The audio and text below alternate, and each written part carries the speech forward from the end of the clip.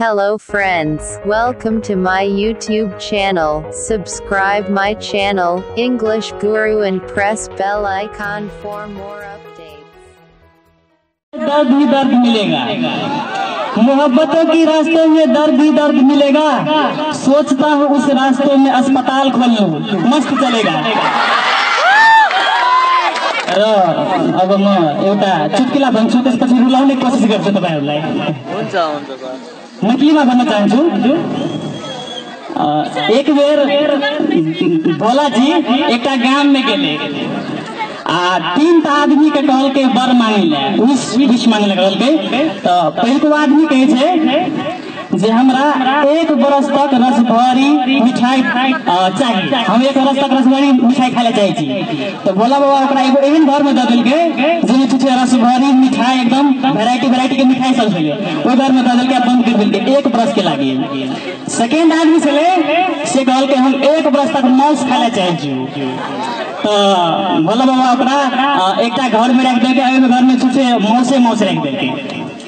तेसर आदमी जे तो उम्मीद कर लगे जो हम एक बरस तक दुनिया में जते किसी में सिगरेट बनल है सब का पी ले जाए तो बोला बाबा, एगो घर बनल के दुनिया के जते वेराइटी के सिगरेट सब है तक रख देलकै तऽ एक साल बाद जे बोलल आब निरीक्षण करले गेलै केकरा कते परिवर्तन भेलै तऽ सबसँ पहिले रसबरी वाला एकरा भए गेलै ओ तऽ एकदम मोटा गेल छलै आ केवारी खोललकै ने तऽ सबसँ पहिले ओ आबि कऽ बोलबाके धन्यवाद देलकै आ तब दुनू कोइ मिल कऽ मौस बला होइ गेलै मौस बला होइ गेलै तऽ ओ देखलकै कनि पातर भए गेल छलै लैट गेल छलै कनि तऽ फेर तैयो खुशी छलै तऽ धन्यवाद देलकै भोला तो थर्ड में आप तीनों कोई मिल के सिगरेट ये गेले सिगरेट ये गेले तो सिगरेट वाला एगो कोना में जाकर बैठल छले, उदास छले।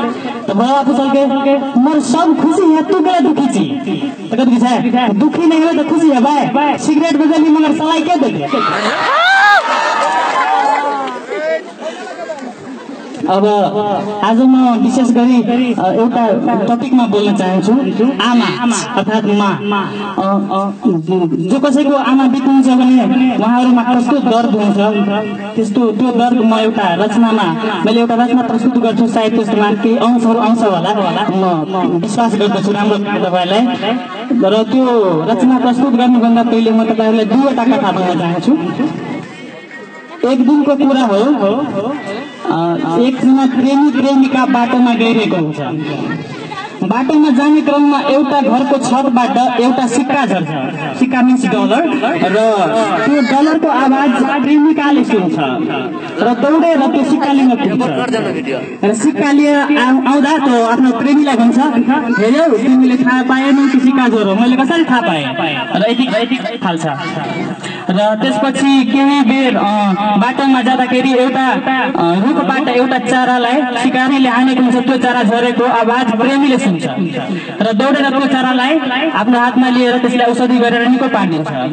र त्यसपछि फेरि प्रेमीले सोध्छ प्रेमिकाले सोध्छ प्रेमीलाई मैले म तिमीसँगै हिँड्दै थिएँ त पनि मैले त्यो चाराको आवाज सुनिनँ। त्यो चारा झरेको आवाज सुनिनँ। तर तिमीले कसरी सुन्यो आवाज?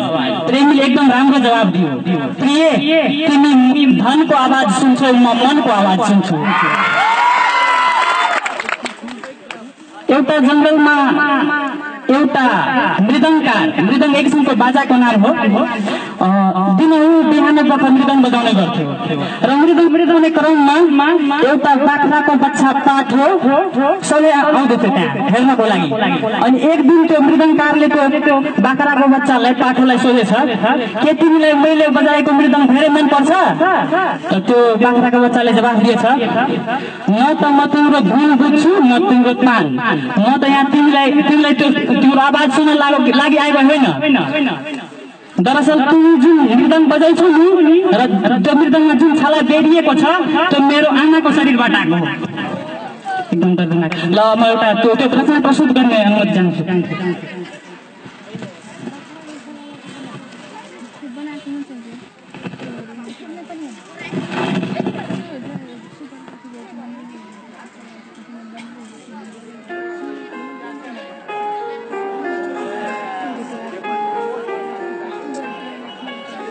हेलो हेलो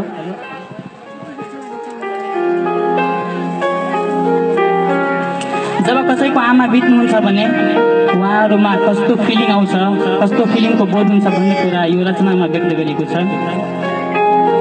धरती चांद सितारे दुनिया के सभी नज़ारे मुझे देखती है। मेरी नजर ढूंढे मेरी माँ को मुझे मेरी माँ नहीं दिखती। कभी तू हंसाती है, कभी बहुत रुलाती है। माँ, मुझे तेरी बहुत याद आती है। कभी गम भुलाती है, कभी दर्द बढ़ाती है। माँ, मुझे तेरी बहुत याद आती है। याद आता है मुझे तेरा हाथों का बना खाना। याद आता है तेरे आंचल में आते ही सो जाना। अब ना रातों को एक पल भी नींद आती है। मेरी प्यारी माँ, मुझे तेरी बहुत याद आती है। याद आती है मेरी बातों पर तेरा हंसना। याद आती है मेरी बातों पर तेरा हंसना। तुझे हंसता हुआ देखे मेरा मुस्कुराना। तुझे हंसता हुआ देखे मेरा मुस्कुराना। अब हर मुस्कुराहट आंसुओं में बदल जाती है। अब हर मुस्कुराहट आंसुओं में बदल जाती है। मेरी प्यारी माँ, मुझे तेरी बहुत याद आती है। याद आता है त्योहारों में तेरा घर को सजाना। याद आता है त्योहारों में तेरा घर को सजाना। हर अवसर पर रिश्तेदारों की महफिल लगाना। अब तो हर महफिल तेरे बिन सुनी हो जाती है। अब हर महफिल तेरे बिन सुनी हो जाती है। मुझे तेरी बहुत याद आती है।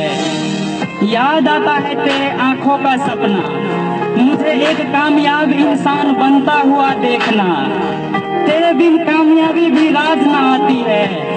माँ, मुझे तेरी बहुत याद आती है।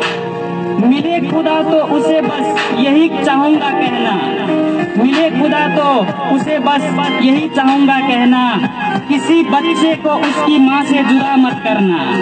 किसी बच्चे को उसकी माँ से जुदा मत करना। माँ बिन बच्चों की खुशियाँ रूठ जाती है। मेरी प्यारी माँ, मुझे तेरी बहुत याद आती है। धन्यवाद। अब म लास्टमा एउटा अरू छ रचना त्यो भन्न चाहन्छु त्यसपछि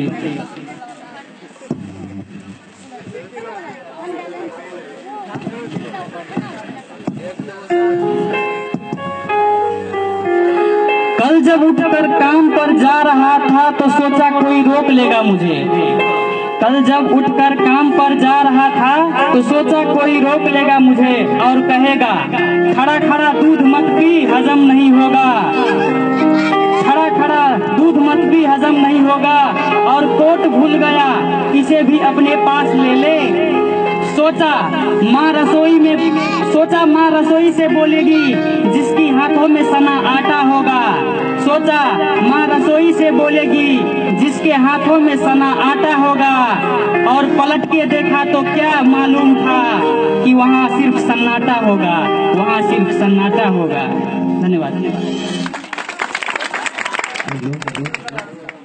धन्यवाद, साहब। लोग एजुकेशन फ्याकल्टी का लक्ष्मण शाह भाइलाई।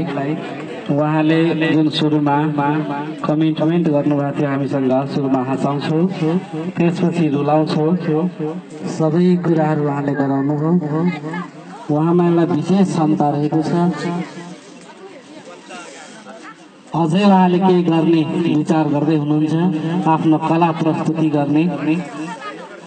उहाँले अझै आफ्नो एउटा अझै थप कला प्रस्तुति गर्दै हुनुहुन्छ।